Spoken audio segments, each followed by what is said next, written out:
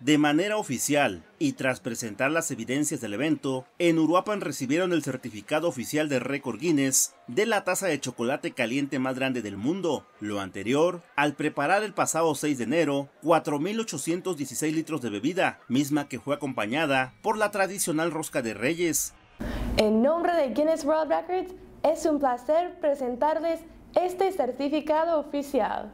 Nos complace que ustedes hayan participado y esperamos que sigan intentando y batiendo más récords en el futuro. Durante el evento, además de entregar reconocimientos a todos los participantes, el presidente municipal de Uruapan, Víctor Manuel Manríquez González, directivos de la chocolatera Moctezuma e integrantes del Comité Consultivo de Turismo mostraron los reconocimientos recibidos por la organización internacional que documenta y acredita diversas hazañas en todo el planeta. En su participación, el presidente municipal de Uruapan resaltó que si bien su municipio tiene temas pendientes por resolver, eventos como este permiten atraer visitantes y con ello generar ingresos para el sector turístico, por su parte, el presidente del Comité Consultivo de Turismo hizo el llamado a todos los prestadores de servicios para que unifiquen esfuerzos, resaltando que Uruapan tiene mucho que ofrecer a todos los visitantes. Y esperamos que de ella emanen todos los proyectos turísticos que Uruapan merece.